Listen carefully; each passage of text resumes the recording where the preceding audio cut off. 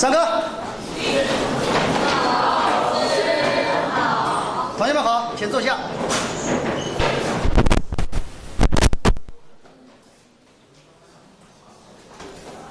我们讲建构主义啊，建构主义呢，它主要有这么三种教学模式，啊，有这么三种教学模式。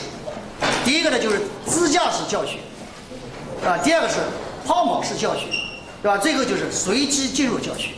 那么这里呢，我们简要的给大家把这三种模式的啊主要的原理和一些程序步骤给大家做个介绍啊，做个介绍。那么首先我们看支架式。支架式的这种教学思想呢，它主要来源于俄国的，就是前苏联的著名的心理学家维古斯基的叫最近发展区理论。这个呢，我们大家在教材中有介绍。那么最近发展区呢，它主要是讲两种水平啊，第就是说学生在解决问题的过程当中的两种水平。第一种水平就是学生现有的这种智力水平，这种解决问题的能力。对吧？第二种水平呢是学生潜在的，就可能发展到的这么一种能力。那么这种能力呢，很有可能，对吧？和我们前面的，对吧？这两种能力之间，前面这种能力之间有，它就是存在着差别。那么靠学生自己达到这种水平有困难，所以说我们作为老师的，啊，在这个两种水平之间可以起到一种促进作用。帮助他从第一种水平到第二种水平。那么我们这种支架式的这种教学呢，啊，建构主义的这种支架式教学模式呢，就是按照这种最近发展区的理论啊构架起来的，是吧？它就像我们讲的这种脚手架一样，对吧？脚手架一样，对吧？把比喻成我们老师提供了一种概念框架，通过这种脚手架的支撑作用，啊，不停顿的把学生的智力从一个水平提升到另外一个水平。啊，就是我们讲这个最近发展区的这种两种水平之间的这种跳跃，是通过教师的这种脚手架。那么这种脚手架、这种支架式的教学啊，它有五个环节构成。在这里呢，我们只给大家啊粗略的介绍一下五个环节。这一个是搭把这个框架搭建起来，搭脚手架，对吧？也就是把这个基本的理论框架搭起来，然后呢，帮助学生进入这个情境，让学生进行探索。在探索的过程当中，学生之间进行协作，通过老师的这种指导和帮助，最后呢进行效果评价。那这是这么样一种五个环节，啊，这么五个环节。那么这个呢是支架式教学。那么抛锚式教学过程，这个锚大家这个在轮船边就看到了，对吧？就是这个锚定。那么这个抛锚式教学，就是要求建立，对吧？在有感染力的真实事件。或真实问题的基础之上，确定这一类真实事件和问题被形象的比喻为抛锚，就是说我们要找出一个具体的问题，把这个问题作为我们研究的对象，这就像我们轮船抛锚一样，找到一个定位的地方，对吧？然后再集中精力呢，我们来抓住这样一个问题，作为我们整个的教学内容和教学进程呢，对吧？就围绕这个问题来决定。这就像我们一艘大轮船，把教学过程比喻个大轮船，就是对吧？被这个问题这个锚给确定住了，所以形象的作为叫锚定式，啊，抛锚式或者叫锚定式这个教学。那么这个过程呢，我们也有这么五个环节。首先是创设情境，所以我们讲建构主义的这个理论呢，它这个情境呢是非常重要的，对吧？前面我们呢也是搭搭建的这个脚手架，其实也是一种情境。对吧？那么这里呢，创设情境，确定问题，自主学习，协助学习，然后效果评价。那么效果评价主要是对自主学习和合作学习的这一个结果进行一个评估，然后呢，把它的这个结果进行反馈，对吧？反馈起着一种激励的作用，同时呢，也改进教师的一种教学活动，对吧？那么它基本上呢，这个抛锚式教学呢是这么一个概念。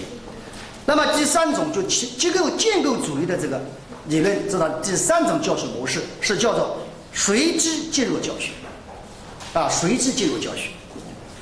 那么这种教学模式是指我们教学当中对同一个教学内容，要注意，它是强调对同一个教学内容，在不同的时间、不同的情境，为不同的教学目的，用不同的这种方式加以呈现。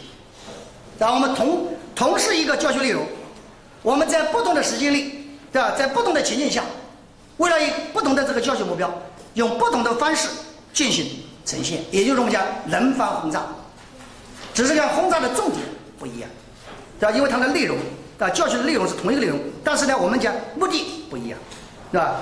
那么这样的话呢，就是使学生通过多次进入同一个教学内容，来达到对这一项知识内容的一种全面的、比较深入的掌握。所以这个随机进入教学模式呢，我们书上面呢给也给大家介绍了一个，啊，介绍了一个，这个呢大家可以自己看，我们在课堂上就不给大家啊参开来讲了。那么它也是有五个环节构成，也是有五个环节构成。那么第一个环节是呈现基本情境。然后随机进入学习，是吧？那么然后呢？思维发展训练、小组协作，最后是评价。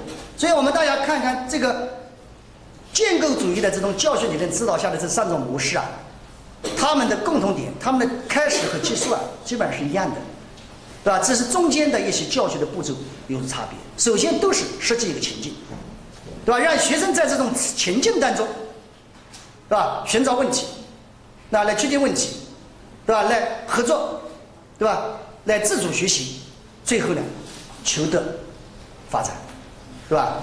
这那么对这个过程呢，是对这个过程的这种效果的一种评价，是吧？它基本上我们讲这这三个环这三个这个教学模式啊，它的这个五个环节呢有相通的地方，啊，所以说建构主义呢，它强调这个情景。那我在这个上节课给大家介绍了，对吧？我们新一轮的课程改革，它这就是建构主义的理论。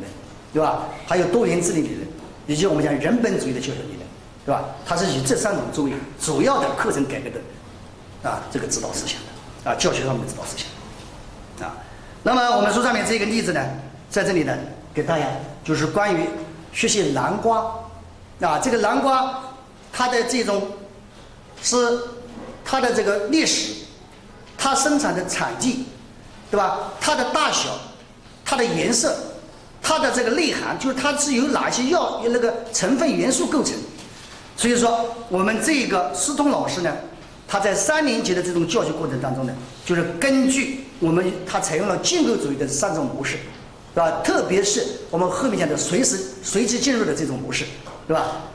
展开了这个教学，使学生对我们这个南瓜它的历史地理以及它的啊。本质等等，从地理学、历史学、手工生物等各种课程当中进行一种啊，在各个领域当中主动的学习啊，让学生呢是吧融会贯通啊，所以说这个呢是建构组的一个重要特点。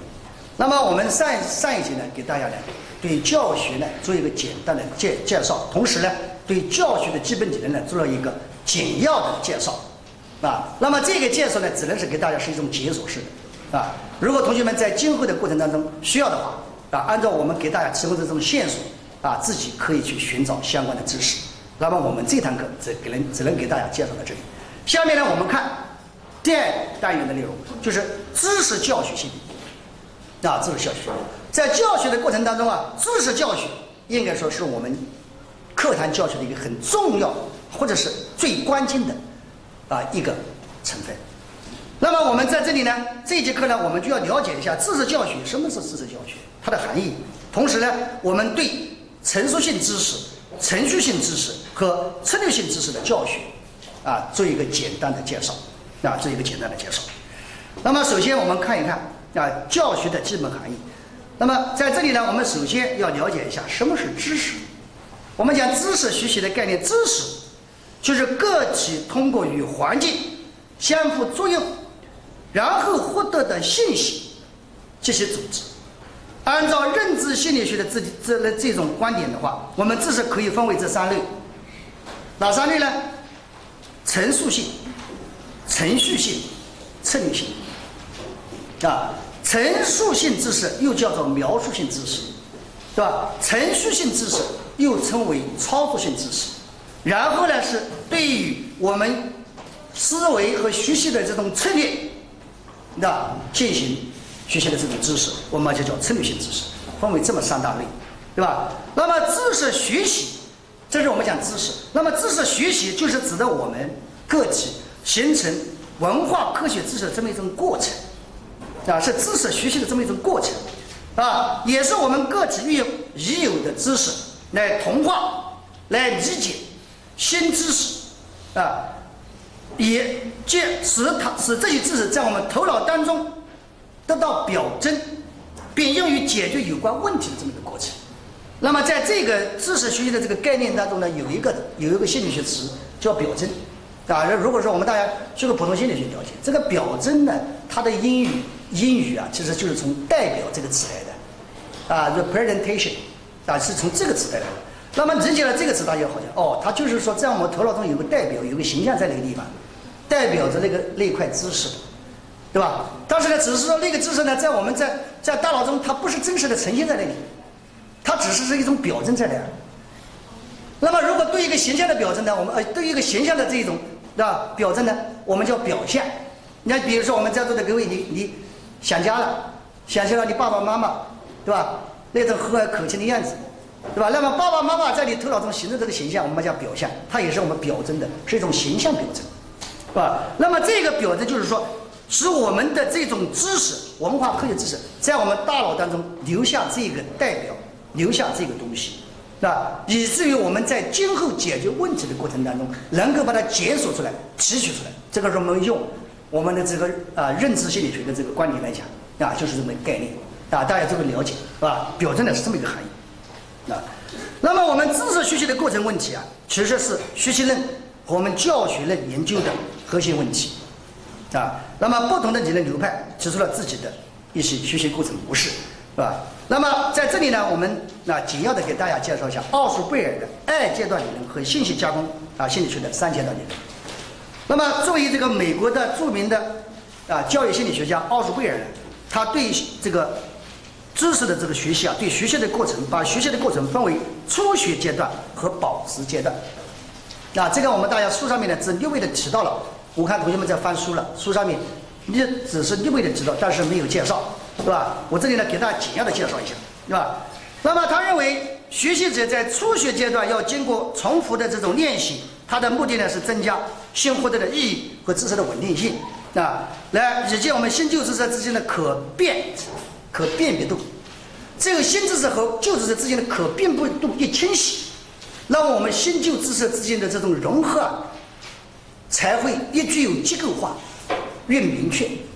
否则的话，大家头脑当中就像我们平时用口语讲的一滩糊涂这个地方，是吧？不知道这个之间有什么关系，是吧？所以说要辨别清楚，而不是增强孤立的刺激，与与反应之间的这个连接，啊。那么在这个阶段呢，要先学会的意义会变得特殊观念啊系统的一个完整的成分，是吧？这是我们他讲的这个初学阶段。那么这个。作为整个的这个学习阶段呢，有意学习呢，将这个新概念的在一个有关的观念系统当中获取适当的位置。这个奥数贝尔呢，他强调的是什么呢？就是我们有一种一种叫内在的知识结构啊。那么这个初学阶段呢，是把这种新的知识呢跟旧的知识明确的把它辨别出来。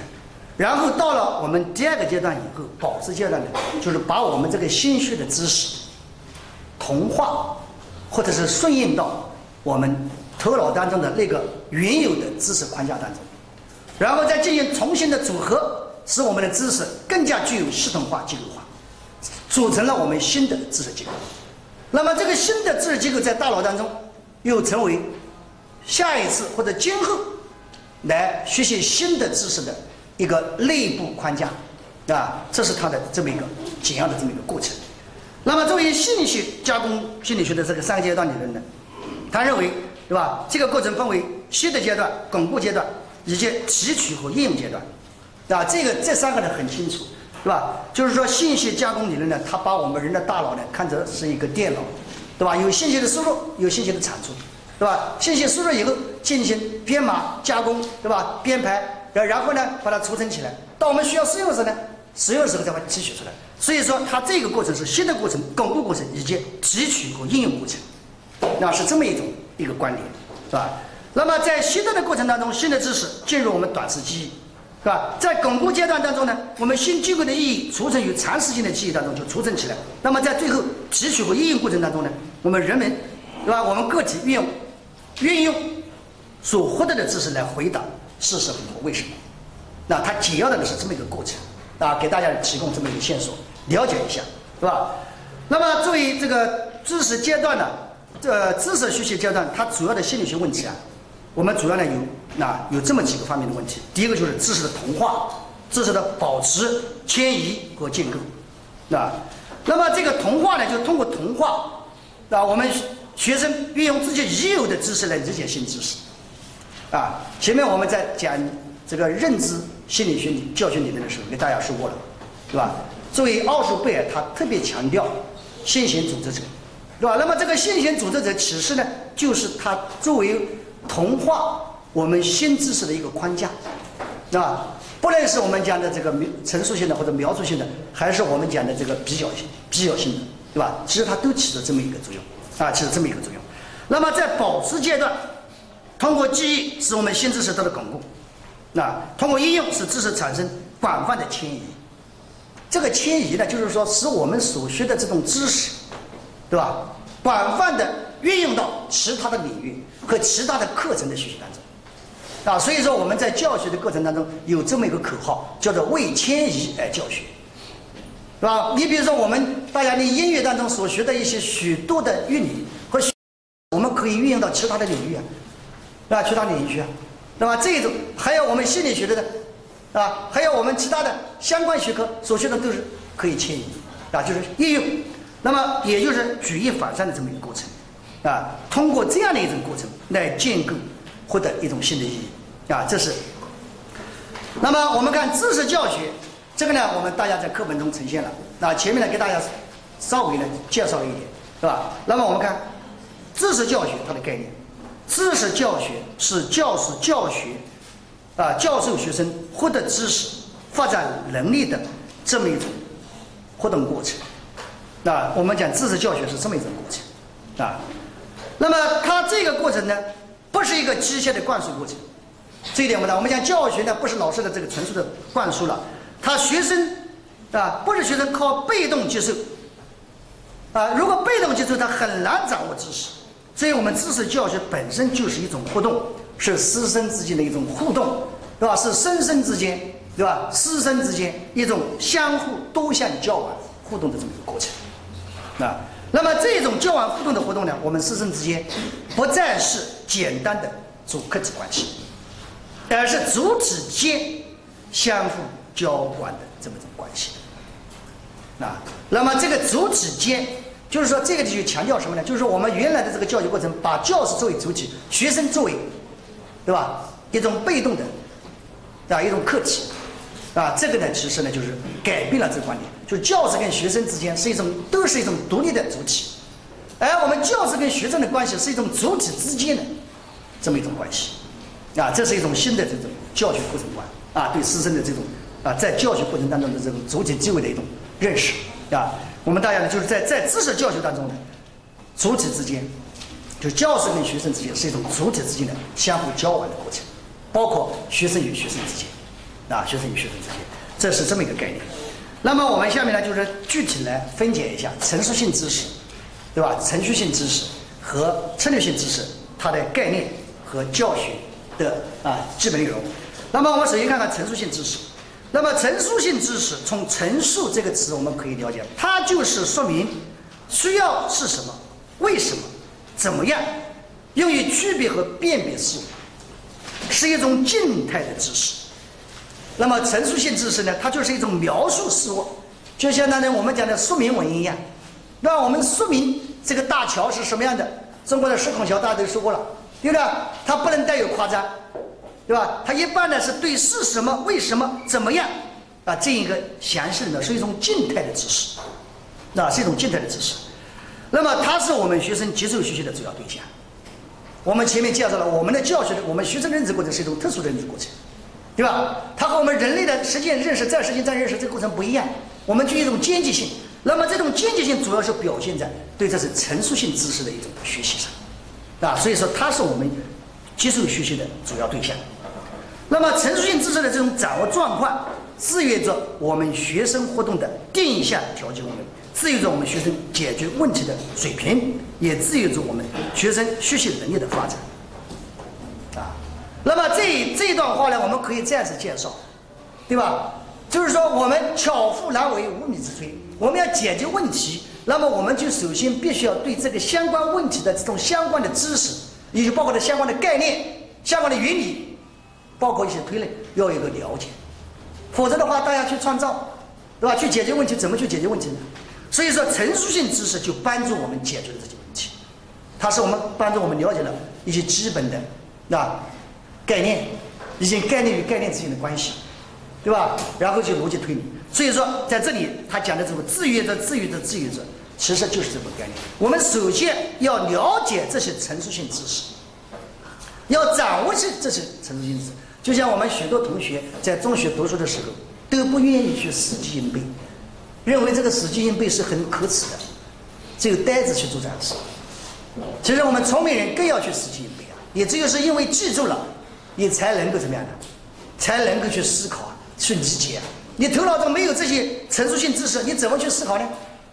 对吧？所以说，他这里呢，我们讲几个关键，解决问题的水平的发展，还有学习能力的发展，都依赖于这些东西。当然，这个死记硬背不提倡，但是我们记忆是必须的。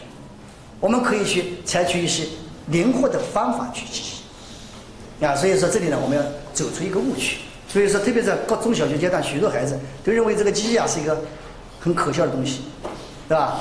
还有一些孩子认为是弱智，是吧？认为这个东西，对吧？所以说大家要了解，啊，这个是必须的。这就是我们对陈述性知识的一个必要的啊一个过程。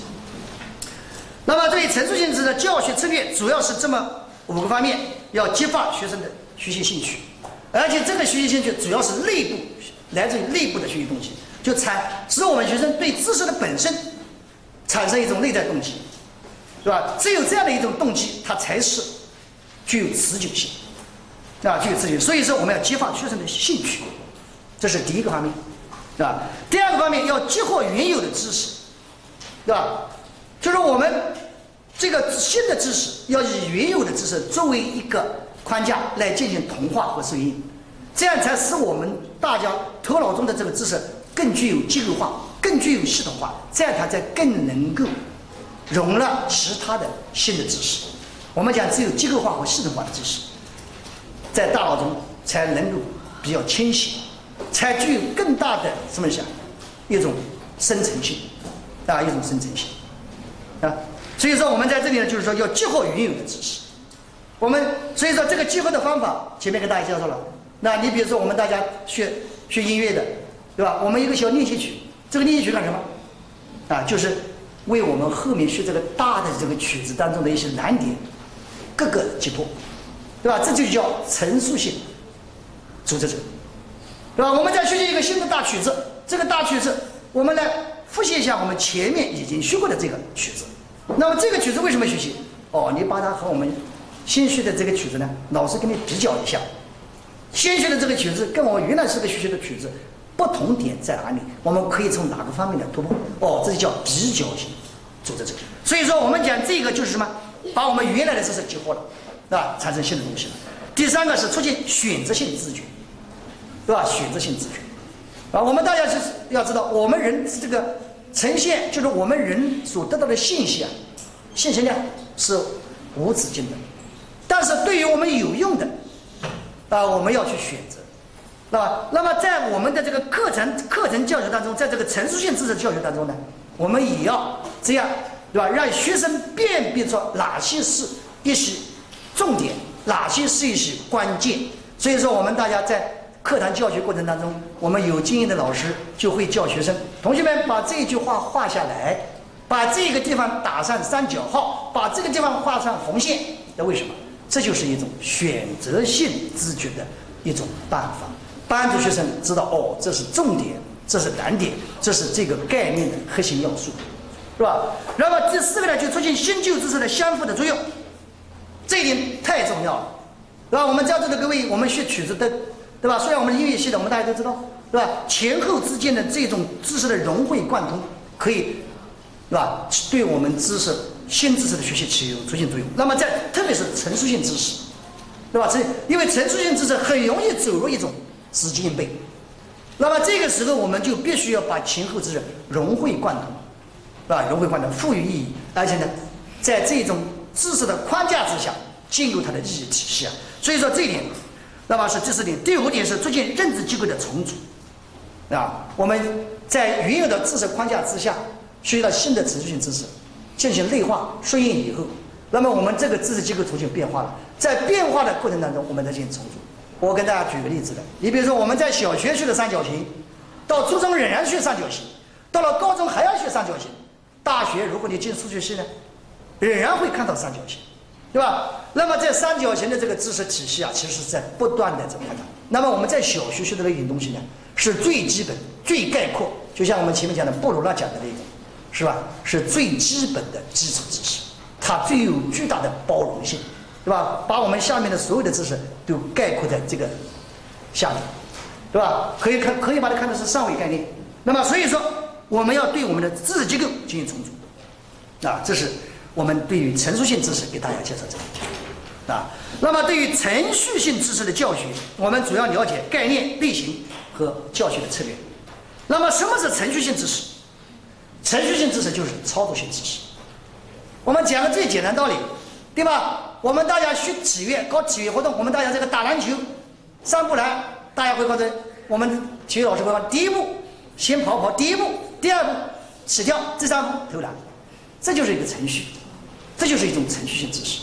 当然，我们讲学驾驶也好，对吧？学自行车、学驾驶，都是一种程序性知识的学习。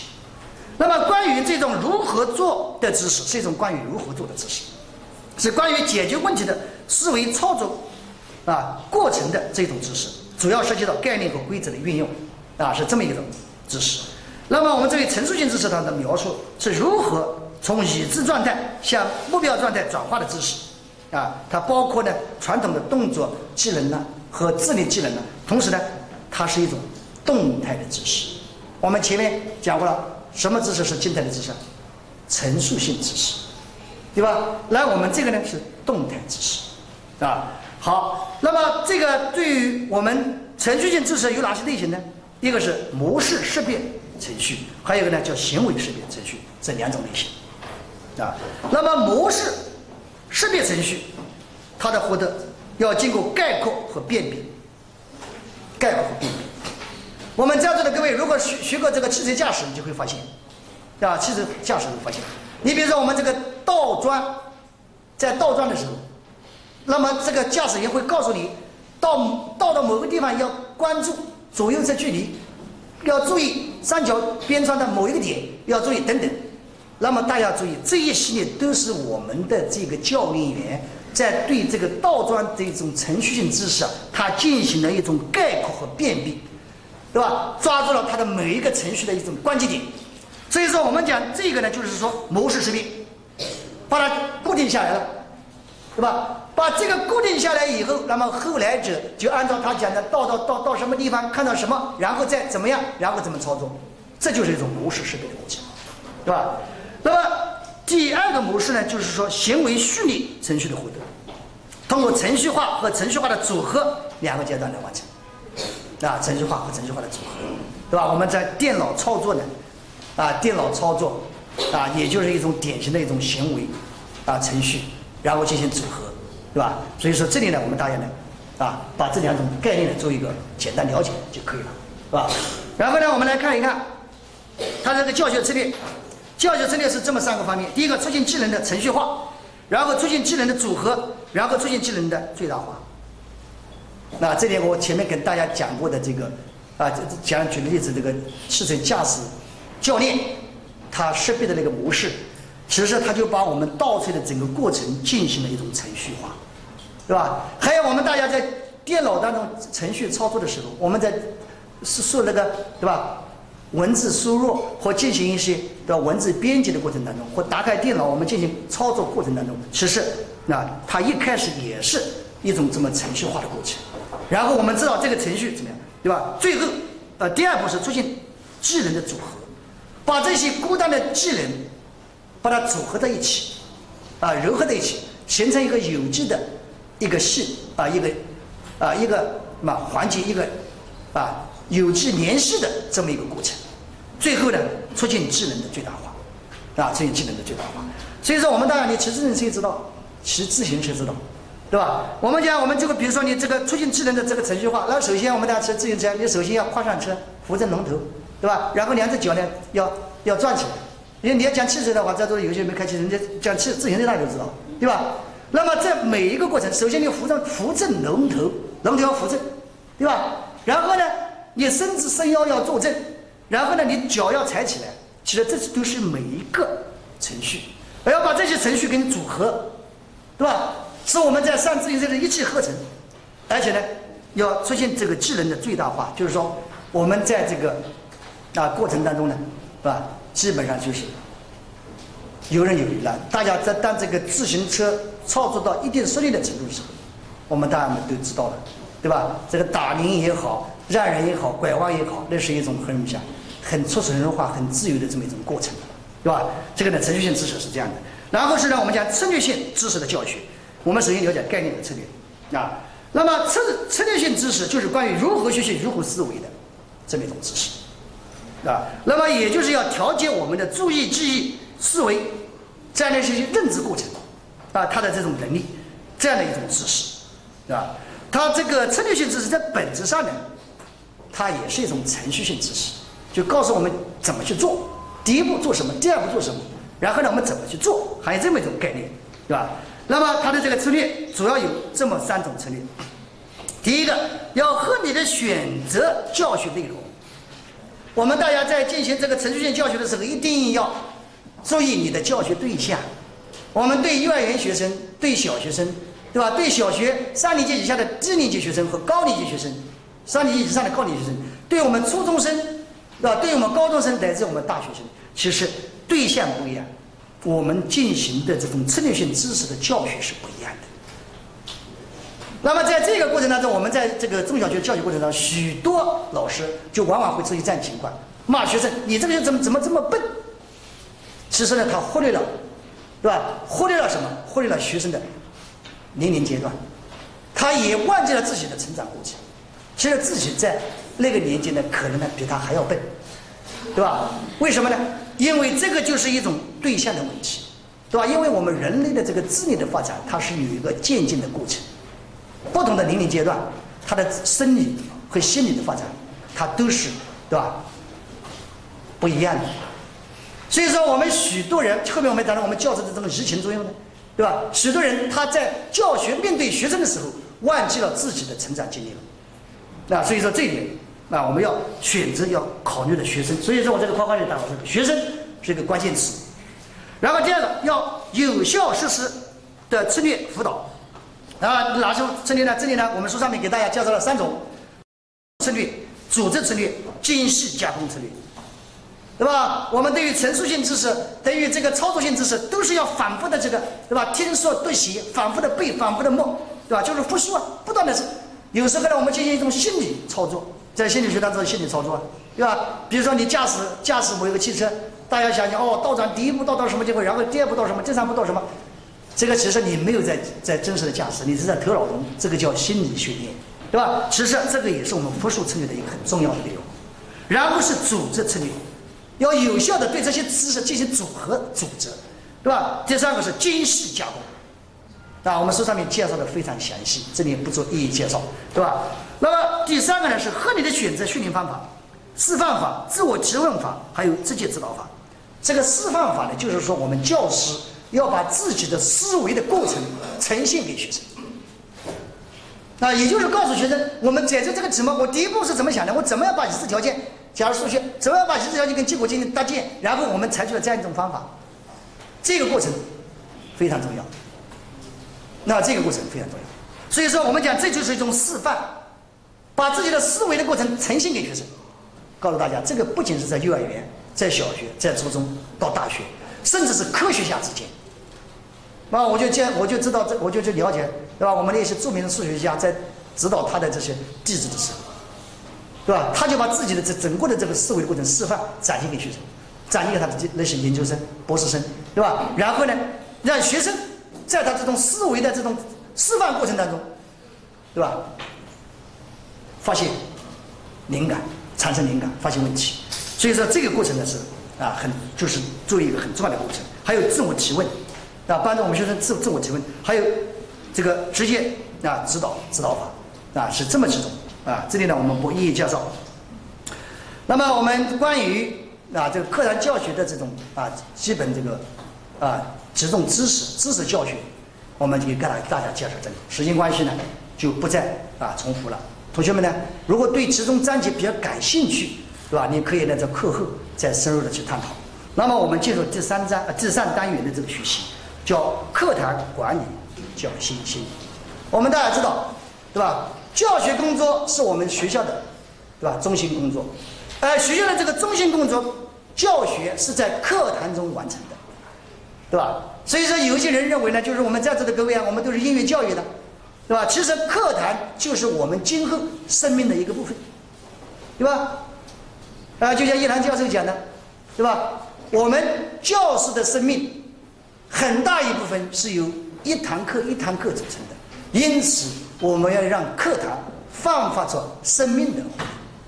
那么我们在这个地方来讲，我们课堂管理的这个心理，对吧？课堂管理的这个心理啊，其实就是说，在我们整个这一篇这个章节当中，它应该是作为一个重点，也是我们大家今后在从事音乐教育过程当中一个很重要的一个知识基础，对吧？前期准备，因此呢，我们大家要啊更多的关注。那么首先啊，首先呢，我们要了解我们这一堂课呢要了解这些方面，第一个含义。气氛、纪律和行为问题，啊，我们一个一个的跟大家介绍，是吧？首先，我们看一看课堂管理的含义，啊，我们了解它的概念和功能，是吧？那么，大家如果说要对它这个做一个全面了解呢，你可以看这本书。我这边后面这个打的这些东西啊，都是对，就是这些概念的来源，对吧？我们书上面就采取这个全面课堂管理，啊，这个是啊国外的一个啊。心理学家写的，大家可以看一看。那么，课堂管理它是管理的一种类型，啊，它是一种协调和控制的过程。大家注意，这个我们讲管理的基本作用啊，管理的基本功能呢，这个著名的管理学家法约尔呢，把它定为五大功能，啊，指挥，对吧？组织，啊，然后呢，这个协调控制，对吧？主要就是这个指挥，啊，是吧？首先是这个，呃，领导，指挥，啊，这个呃，领导、协调、控制，啊。那么我们在这里这个协调和控制呢，其实是我们其中的两个重要环节。后人呢把它称为叫领导，主要的对象是什么？是人的过程。那我们讲，我们作为一个管理者，他首先要执执行计划，计划以后要进行组织安排或者组织实行，对吧？那么在组织实行的过程当中，我们就必须要进行协调控制，对吧？最后呢，进行反馈，对吧？所以说，那么在这个地方，协调和控制主要是针对人的，所以我们课堂管理也是面对学生进行的一种协调和控制的这么一种过程，是教师在教学过程当中。对吧？通过协调课堂内的各种人际关系，那么这种人际关系大家知道，不仅包括我们师生之间关系，还包括生与生之间关系。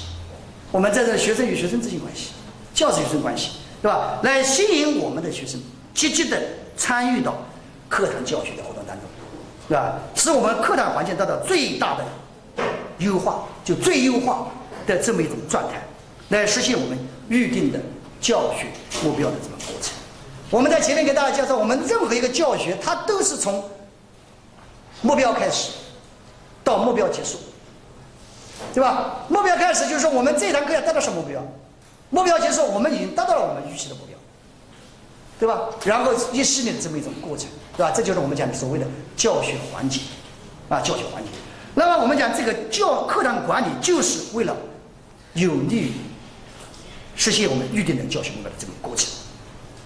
那么它有哪些功能呢？在这里呢，我们把它概括为两大功能，对吧？我们课堂教学啊，课堂管理啊，它具有促进功能，具有维持功能，对吧？那么教师在课堂当中主动的创设一种能够促进教学的课堂环境，满足学生合理的需要，调动学生的积极性，最大限度的发挥学生的潜能，从而促进学生的学习。这就是我们课堂管理的促进功能，对吧？起到一种促进的作用。那么这种促进的功能，首先是协调，就是我们要协调好这个课堂当中的各种人际关系，对吧？那么这种各种人际关系，不仅仅是讲我们师生之间关系、生生之间关系，还有学生中间的这种我们所谓的叫做差生和好生。也就是我们的学生的这个成绩优秀的，或者学习成绩中等的。你比如说，我们大家到了一个小学课堂，到了一个课堂，你遇到一个问题的时候，老师老师，我要回答，我要回答。这个时候你举谁？你请谁来回答呀？这个就是你协调的过程。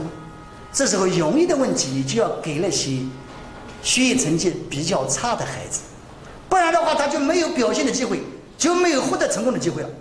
所以说，这就是叫协调，要协调好各种关系。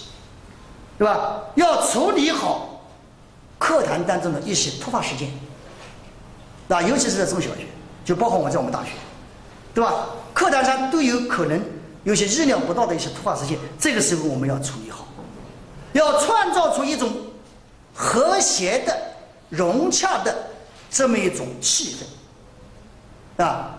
那么在这样的基础上，我们帮助学生来明确我们这节课的。教学目标，最后共同通过一种自主学习和协作学习，最后达到我们的教学目标。这个就是一个促进功能。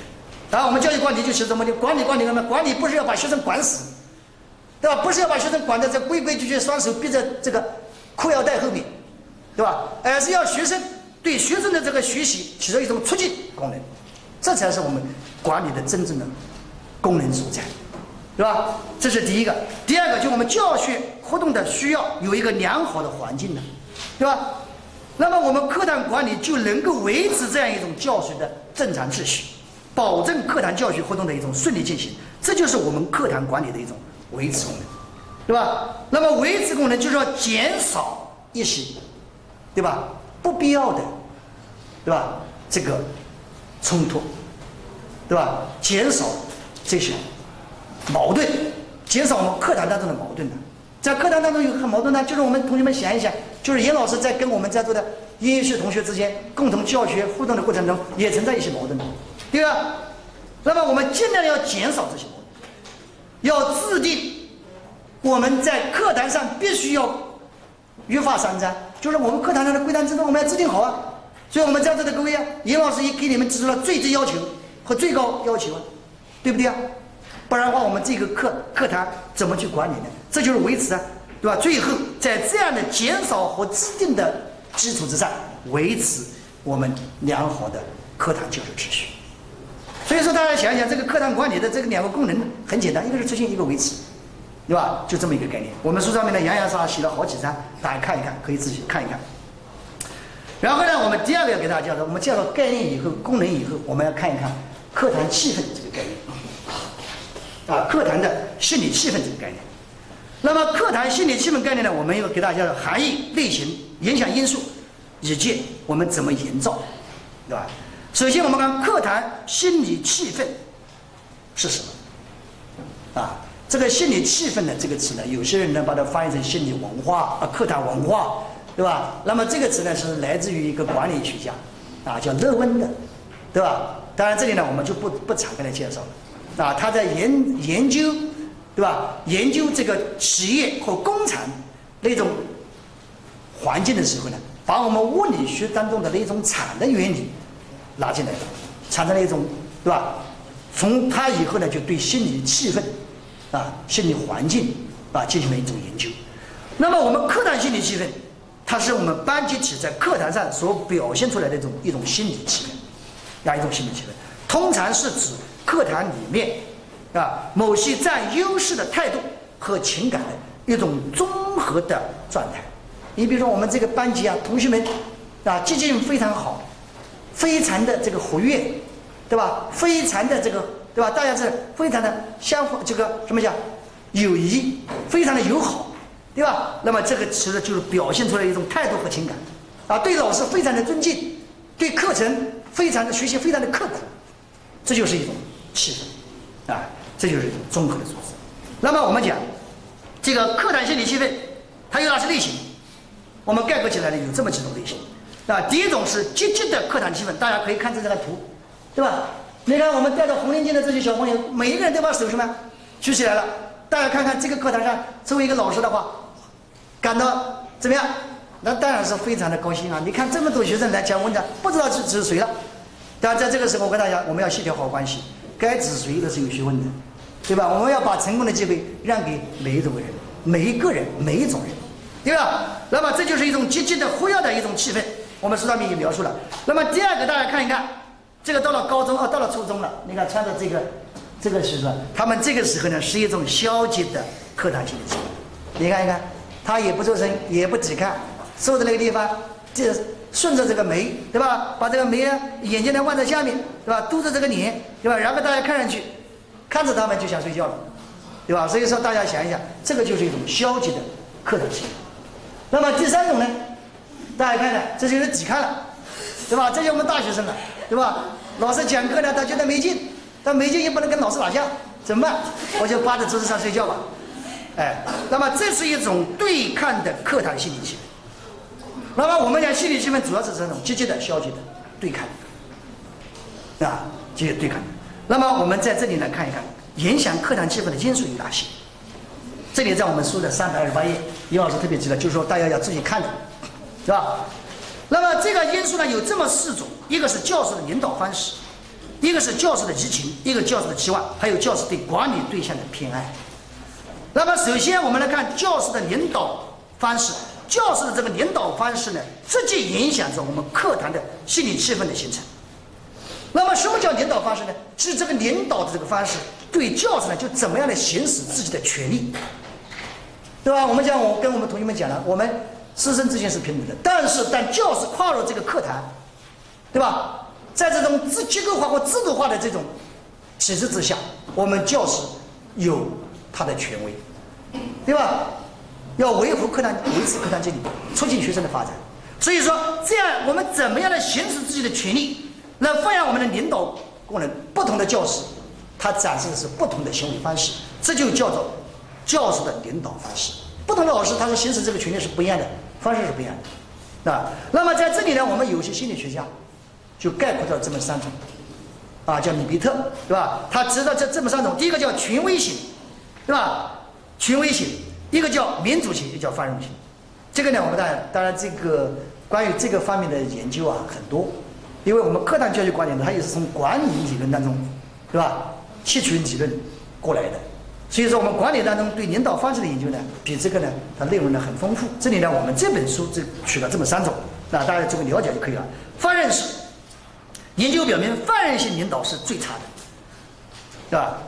那么民主型和这个权威型效果比放任性好。那么是不是我们学生的同学讲，那么就民主型肯定是最好？但是我们要根据我们这个班级体。根据我们这个班级体的发展阶段，你比如说，我对我们在座的我们啊音乐系的同学来说，我现在上课就可以采取民主系。但是在一开始的时候，我们师生之间还要有一个相互的认识、相互的协调，这么一种班级这个教学的这种发展这种形成过程，在这个过程当中必须要有权威，对吧？因为只有权威才有引导，对吧？所以说，我们大家你不要认为作为一个教师，今后我们在座的都是。搞师范、搞这个音乐教育的，对吧？民主是必要的，但是不能放任，对吧？我们在适当的时机之下，必须还要权威，对吧？所以说，你看这里呢，我们书上面讲的很啊，也是很明确的。民主型领导虽然在教室离开时，学生仍能积极学习，保持较高的成绩，但和权威式领导相比，民主并没有多学，就是民主式这一组啊，并没有使学生学到更多的东西。那么相比较起来来说呢，我们这种权威性，对吧？虽然在发展学生的创造性和责任心方面稍差一些，啊，但是呢，当我们班集体涣散、课堂秩序混乱的时候，人际关系复杂的时候、紧张的时候，这个权威性就起到它应有的作用，啊，好，那我们休息一下。